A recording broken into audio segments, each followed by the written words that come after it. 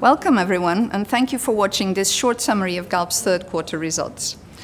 This was a quarter of strong operating momentum across all business units at Galp, in tandem with continued disciplined strategic execution and capital allocation.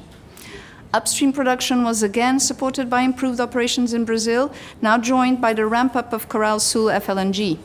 Furthermore, the sustained low-cost profile of our portfolio once more drove upstream contribution. On our key upstream developments, we continued to advance the execution of Bacalhau, including the appraisal campaign critical for the assessment of the Phase 2 Northern Area development concept. As for Namibia, we're well on track to spud the first exploration well in November. Moving forward, given improved operating conditions, we expect production to be around 120,000 barrels equivalent per day during 2023, and then to remain above 115 until the start of Bacalhau. On industrial, the high refining availability during the quarter allowed Galp to capture the strong cracks market environment. Our decarbonization journey continued to progress steadily with the FID of an advanced biofuel unit and of 100 megawatts electrolyzer for green hydrogen production. These two large-scale projects will kick off the transformation of our Sines site and represent an important building block in our strategy.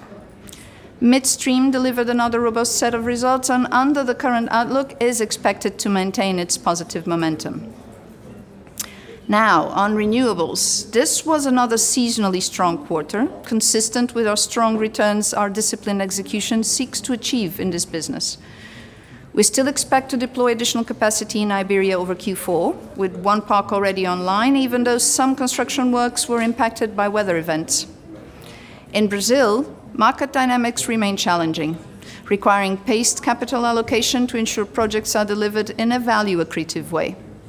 Ultimately, under these circumstances, the full delivery of the 4 GW renewable organic portfolio is unlikely to be achieved by 2025 and is being reassessed given the return profiles we're currently seeing in some projects at levels well below Galp's minimums.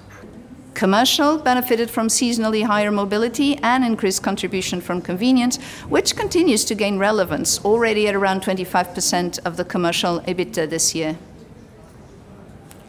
Overall, group EBITDA in Q3 surpassed 1 billion euros. EBIT followed suit, including some impairments and provisions, such as the ones reflecting renewables market conditions in Brazil. Implicit tax rate was 63%, which includes all extraordinary taxes in Iberia and showcases the heavy weight of taxation currently applicable to our businesses. On cash taxes, 116 million euros were paid regarding extraordinary taxation, including expenses related to the extraordinary energy tax here in Portugal. Galp continues to dispute this tax. Excluding extraordinary taxes, our tax rate would be closer to 50%, but still a very high number. Moving to operating cash flow, Galp evidenced a robust performance this quarter. Net CapEx execution accelerated, and as there was the beginning of our exploration campaign in Namibia, partially offset by an inflow from interim amounts related to the Angolan sale. All in all, a strong free cash flow generation, enabling Galp to reduce its net debt to 1.2 billion euros and land on a robust position with net debt to EBITDA at 0.3 times. Now, with just two months to go, we revisit our expectations for the full year and adjust our outlook. We are revising up our guidance on the back of subsisting macro tailwinds and a better than initially expected operating performance, namely upstream production and industrial and midstream contribution. 2023 EBITDA is now expected above 3.5 billion euros and OCF above 2.3 billion euros. Finally, our gross CapEx is expected to be around 1.1 billion euros, with 0.6 billion euros of divestments, assuming Angola upstream sale completion by year-end 2023. All in all, a well-rounded quarter. Thank you for joining us.